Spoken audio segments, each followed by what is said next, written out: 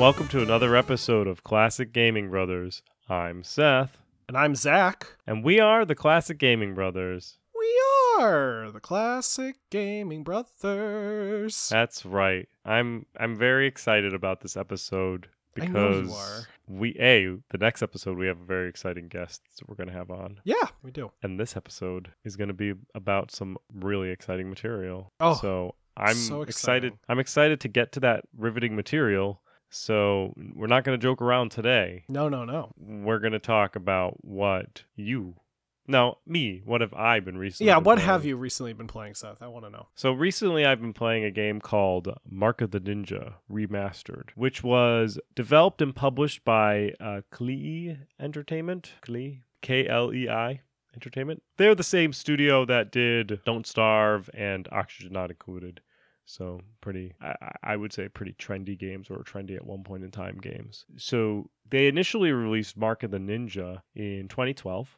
and a remastered version was uh, released just in 2018. Which I'm saying that now it's almost four years ago. Yeah. Well, in Mark of the Ninja, you play as a ninja, and you Oh. have to be ninja-y to get through the levels.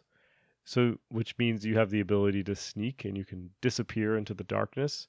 Uh, you get a grappling hook and little darts that can break lights and a sword to kill people with. So the game relies on like darkness light mechanics. You can't be seen by flashlights or lanterns. So like Mhm. if you make a disturbance, they'll like run out and look for you and stuff like that. You can go through the levels without killing people and you get more points for doing so. But as I spoke in the last episode about how I play Deus Ex, usually trying to do that makes me angry. So I'm just killing people in this game. Though, as a point of order, I did successfully beat Dishonored without ever being seen or killing anybody. So did did I even beat it with those two achievements? Because nobody saw me and nobody died. So did oh, anything Oh, happen? Good question.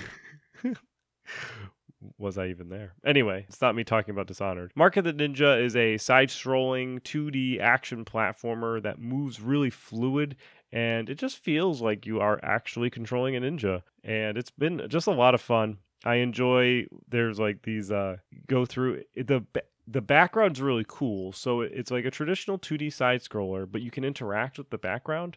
So you Uh-huh. may see not but not all the background. But there may be like a statue or like a gong and you can hit it and you can like hit the gong and like people will come out and look for you and the statue you can like hide in the in the foreground or the background. You can get behind it and the guards will walk in front of you, which is kind of cool. And the game is done up in a, a two different color palettes. There's like a in the dark color palette and when there's light going on color palette and it's kind of cool sneaking through it. It it also had that like kind of like that vibe where you're playing like you may be playing a stealth game but you're the like scary creature, not the hiding person. Like you're not hiding from these people, you're like stalking these people. Kind of like what we talked about Batman and stuff like that. Or I was going to also say kind of like um Carrion. Similar to Carrion. Not as gory, but similar type of like uh hiding, going through uh vents and stuff like that type of Yeah. situation. So Zach, yes, Seth. what have you been playing recently? Well, Seth, recently I've been playing Duke Nukem Megaton Edition. So Duke Nukem 3D originally came out in 1996 and was developed by 3D Realms. Megaton Edition was developed by General Arcade and published by our best friends over at Devolver Digital. It was released on Steam in March of 2013.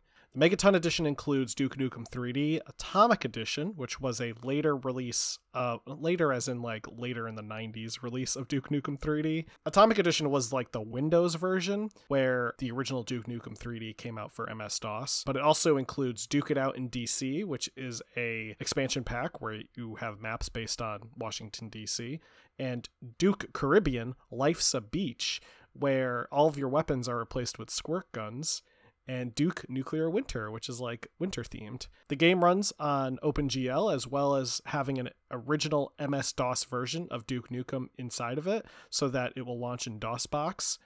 Um, and it's really a cool, cool game to play because it's a classic Duke Nukem game. It's it is the classic Duke Nukem 3D game that's been updated for modern engines. However, you cannot get Megaton Edition anymore. So, in uh, 2016, or around 2016, a lot of the digital distribution rights for Duke Nukem 3D kind of fell into a weird legal limbo for a bit, and then Gearbox Software picked them up, and Gearbox Software ended up releasing the 20th Anniversary World Tour, which is different from Megaton Edition in that it doesn't include almost all, any of the DLC and stuff that was included in, or not DLC, but expansion packs that were included in Megaton. It's less content, but yeah, it's it's just less content. Now, funny story about Megaton Edition. I ended up getting it around the time it was, I think, first available on Steam because my friend thought for some reason that it was Duke Nukem Forever and was trying to buy me a joke gift. He inadvertently bought you an actual birthday gift. Yeah. Yeah. Fun. So it's it's a, it's a fun game. Uh, again, it's unfortunate that you can't get the Megaton edition anymore, but I think 20th Anniversary World Tour isn't as bad as like it doesn't have Duke It Out in DC and it doesn't have Life's a Beach or Nuclear Winter. I'm fairly certain it does have a new mission at the very end that was built by the original people who worked on Duke Nukem, though. So that's pretty cool.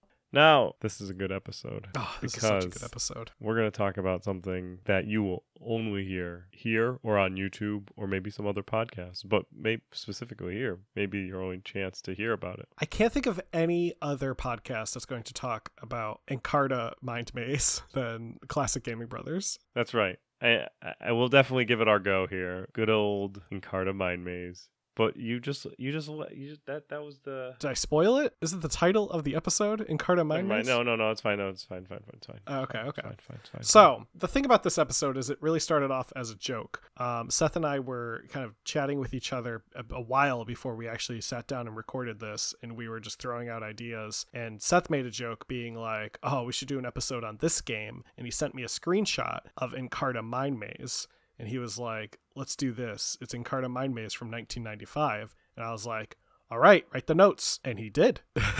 I did. He did. And for those who are listening at home, I, I don't write the notes very frequently, but when I do, they're always the best. And now here we are. We are going to tread into this weird and fascinating world of 1995 multimedia products and the beauty that is Encarta Mind Maze. So, uh, I guess first we should talk about Encarta. If you weren't a 90s kid, you probably have no idea what Encarta is. I feel like Encarta is quintessential 90s content. Mm. Well, it was, it was, what you did. You it's what you used before Wikipedia. Exactly. So, like, I remember we had an Encarta CD lying around the house. Right. And you used it after using physical mediums, like Yeah. physical books. I- mean, I guess it is also a physical medium since it was about a CD ROM. But you used Encarta. I feel like you used Encarta between using Encyclopedia Britannica books and using Wikipedia. Yeah. Don't we also have Encyclopedia Britannica books? We did we did have the Encyclopedia Britannica or uh, or like a cheap knockoff. D- Dad will send in the correction. I I guess before we get into Mind Maze, we should talk about what Encarta is. Uh, Encarta was developed and published by Microsoft, which apparently Seth was surprised by. I'm pretty sure I wasn't because I remember it being called Microsoft Encarta. Yeah, so here's my, here's where my surprise is. Allow me to explain myself. I remember the the Encarta CD, and I remember it saying Microsoft Encarta, and it had the Windows logo on it. I, I think what my mind was that I thought that it was. I thought Encarta was something else that was packaged by Microsoft because it came Oh, with the oh, I computer. So I thought it was like, you know, like brought to you by Microsoft. Like if you go to like a CVS or like a Stop and Shop, they're not the inventors of like nuts or scissors, but you can still buy CVS branded scissors. So like at the end of the day, like I that's why I kind of just kind of built up in my head that this Microsoft found this Encarta product and decided to brand it Microsoft Encarta. Well, to be honest, that's kind of what they did. So, why did Microsoft decide that Encarta was such a good idea? Well, Compton's Encyclopedia, which was owned and published by the Encyclopedia Britannica, had a pretty successful release of Compton's Multimedia Encyclopedia. that's a great. I love that. In uh, 1989, in Grolier, who uh, has had their headquarters in Danbury, Connecticut, um, a, a great city that has a history of haberdasheries and has a um, garbage plant named after John Oliver. But uh, Grolier is now actually owned by Scholastic, which is, is also fun. But Grolier released what was called the New Grolier Multimedia Encyclopedia Encyclopedia, which they, they really love these rhyming names, in 1992. I think what they they kind of like had to, right? Because multimedia was like something that you had to in the early 90s, you had to put on like CD-ROMs. When it was software, it was like implying that you could use it for like I don't know, multiple medias could use it. I think because I think some of those CD-ROMs you could like put in CD players and play music too. I just think it's funny that they're multimedia encyclopedias. Encyclopedias, yeah, Yeah, it's it a very, is. it's a fun name. Uh, so Microsoft didn't want to be left behind with these two companies already putting out multimedia encyclopedias. So Microsoft went off and bought the rights, non-exclusive, to Funk and Wagnall's encyclopedia and electronically published the information in an original release they entitled Encarta in 1993. Over time, Microsoft acquired Collier's encyclopedia and New Merit Scholars Encyclopedia and folded their information into Encarta. For a sad fact, the incorporating of these encyclopedias into Encarta ultimately led to the print demise of these encyclopedias. Yeah, very sad fact. Collier's, New Merit, and Funk and Wagnalls stopped producing books because they were in Encarta. Now, Encarta is a fun name. It is also not a multimedia encyclopedia. It's just it's just straight up Encarta. And where did that name come from? Why? An advertising agency. So an ad agency went to Microsoft and was like, you know what would be a good name for this? Encarta. And Microsoft was like, yeah, sounds good. The internal code name for Encarta at Microsoft was Gandalf, which I really just wished that they released an encyclopedia called Gandalf to the market so then people could be really confused, especially if they put like a wizard on the cover and they were just like, yes, this is Gandalf. And people are like, ah, excellent, a game. And then they brought it home and it was just an encyclopedia. it was so good. And then they could put it in the PC sections. Uh, Encarta launched in 1993 and was priced at the opening price point of $395, which would be about $736 in 2021 dollars, which I think they were going for a comp to buying an encyclopedia. Because I mm-hmm. think what they were saying was you can get an entire encyclopedia on this disc and you should pay encyclopedia prices for it. Because encyclopedias in the 90s and or like even as, as encyclopedias came out, they were expensive because there were a lot of books.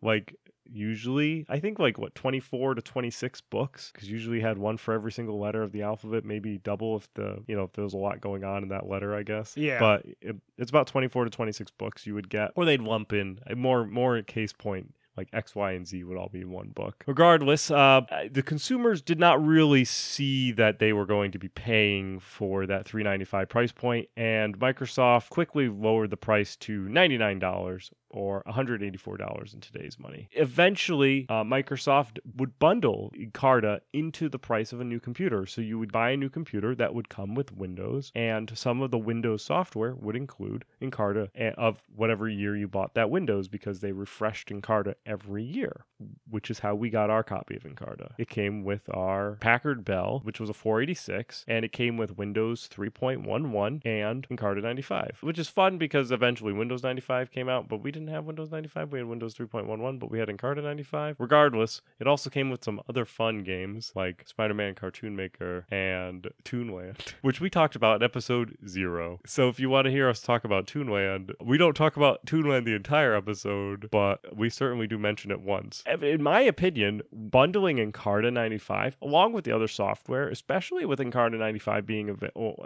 the version of Encarta being available for $99, really like a value add. You're getting like $100 worth of software. It's like it's like getting like a cheap version of Adobe or something with your computer purchase, which companies do today. They usually throw in a game or two if you buy a certain amount of parts or type type of system, or maybe some production software if you're not buying a computer from a computer gaming store and you buy it from like a regular do people even buy desktop computers for like function I, my fiance uses a computer for function but she doesn't use a desktop she just uses a surface like do, do, do like that's a question not for our listeners because they're all video gamers so they, Yeah, they won't yeah. know.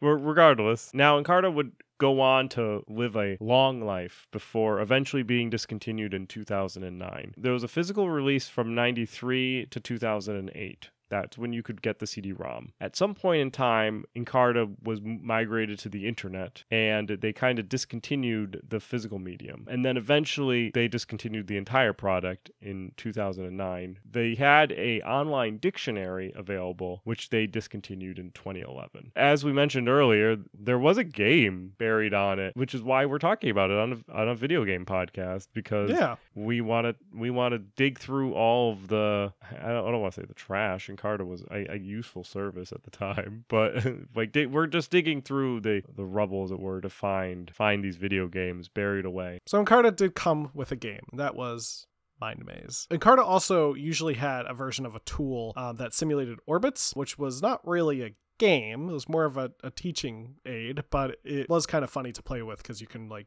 make hilariously obnoxious orbits. So if you wanted to have fun besides Mind Maze, you had the orbits. Mind Maze was in almost every physical version of Encarta, though we can't confirm if it was in 93 or 2008. And every edition was pretty much the same, though there was a graphical update from 1994 to 1995. Seth and I owned Encarta 95, and that's where most of our memories really lie with that edition. So if you owned like Encarta 2000 and had a different memory of Mind Maze, that's great. And sorry, this is not what we're going to talk about. So Mind Maze was set in a medieval castle. It was a point and click trivia puzzler. The user could decide to answer questions in one particular subject or all the subjects per question. So here are some of the subjects life science, geography, history, physical science, social science, religion and philosophy, art, language and literature, performing arts, sports, hobbies, and pets. I like that pets is just like lumped in with the sports and hobbies. It's like these are leisurely activities. I, I'm, I'm kind of curious what like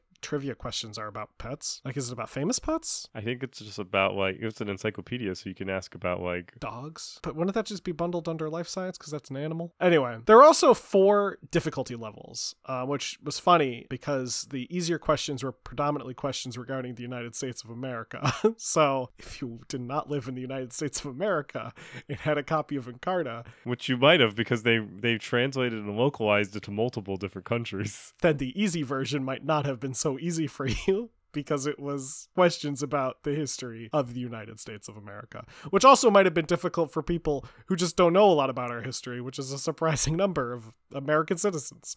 The difficulty levels could be adjusted per question and were called, wait for it, difficulty 1, difficulty 2, difficulty 3, and the last one is difficulty 4. I, I like that that you could like kind of just ad hoc change your experience while playing Encarta by changing the difficulty and also the questions that you're going to receive. Another thing that I, I really enjoyed about Encarta was in the game you're exploring this castle in first person perspective and you're clicking through and there's like artwork hanging on the wall in the background and you can click on that artwork and it would bring you to a corresponding Encarta article about said artwork. So if you're like, "Oh, that artwork is interesting," you could click it and you could read an article all about the artwork. And it, and it could have been an artwork that represented an idea, so it could have been like a, a picture of perhaps like religious symbology and it brings you to a page about the religion, or it could just be artwork and you can learn about the art. Now, there was an actual story to Mind Maze, which is impressive that there was actually a story. And that story was that there was a curse that befell this medieval castle. And personally, I feel like the curse was that it made it filled with the creepiest people ever because there are people in the castle as you walk through it. Now, mind you, this this game is delivered in like a, a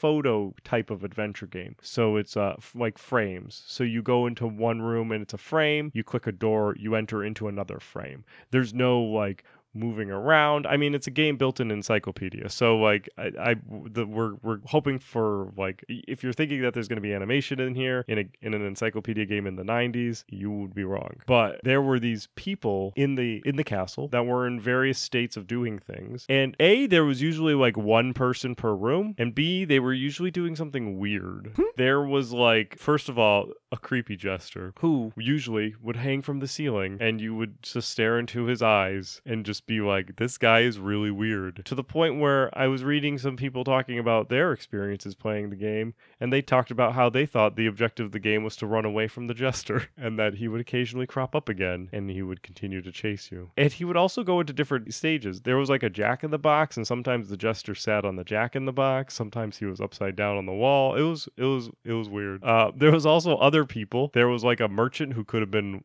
also an assassin because he looked very like an assassin. Uh, there was a jovial King Henry, but he wasn't the king. He was just like a jovial lord. There was a guy in the stockade in a room.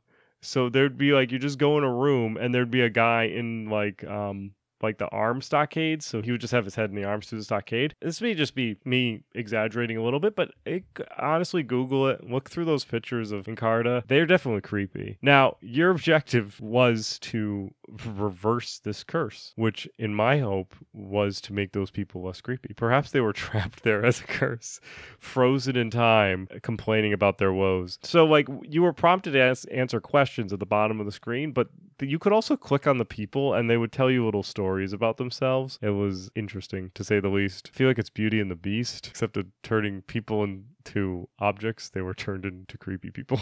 now, every floor in this castle was, as you might suspect, a maze. A mind maze? No, just a regular old maze. Oh, that's kind of lame. Unless, of course, the whole thing of this being a mind maze is that your player is actually just tripping and is like really just. Oh.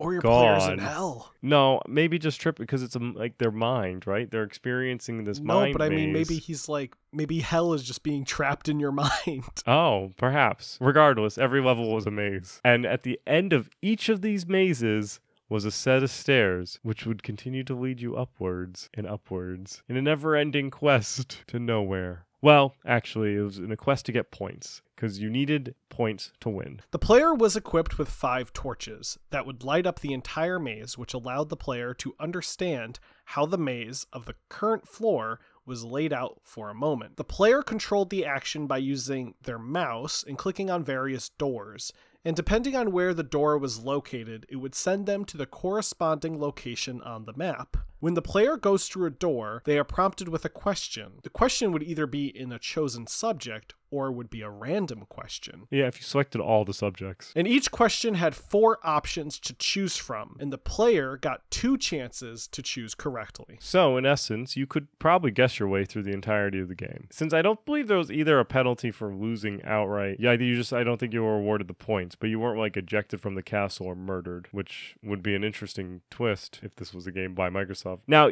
every time you started to answer a question, there would be like a clock, and you would get less points per question, making your desire to answer these questions quickly, so making it stressful. Uh, the longer you took to answer the question, the less points you would get. Ultimately, you were attempting to reach 20,000 points. And once you reached that point total, the endless staircase stopped. And it, instead, the next set of stairs that you took led up into the king's chamber. I'm going to be honest here. I have never beaten Encarta. Probably because you didn't get a lot of points per question. You got like 100 and you lost points from there. So you're talking about 50 to 60 points and you need to get to 20,000. That's a lot of trivia. And this game, as exciting as the soundtrack was, did not hold my attention as a child for that long. Thus, I never beat Encarta personally. However, I did read a little bit about and I did watch a little bit about. So, what I read was that in the end, you would be led up the stairs to the king's chamber and the king would invite you, the player, to rule over the kingdom after he dies, which I think is just weird. Also,